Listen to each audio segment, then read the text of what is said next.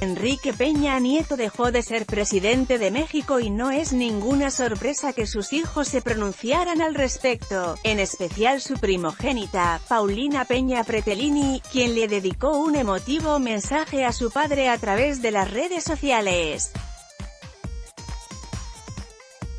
Querido señor presidente, papito mío, gracias. Un millón de gracias por 2.190 días de entrega absoluta a nuestro México.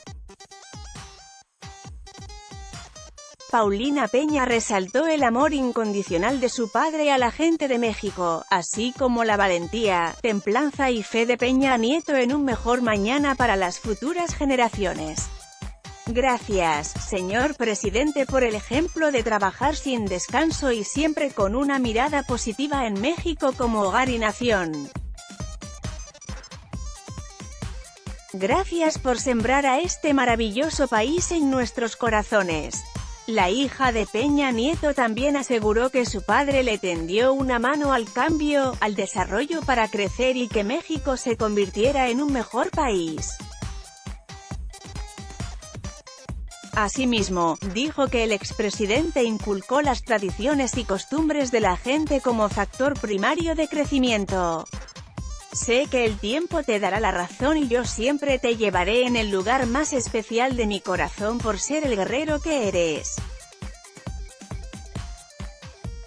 A pesar de que durante seis años Peña Nieto enfocó su atención en el servicio por el país, su hija le dijo que lo amaba más que a nadie en este mundo y que era un orgullo ser su hija.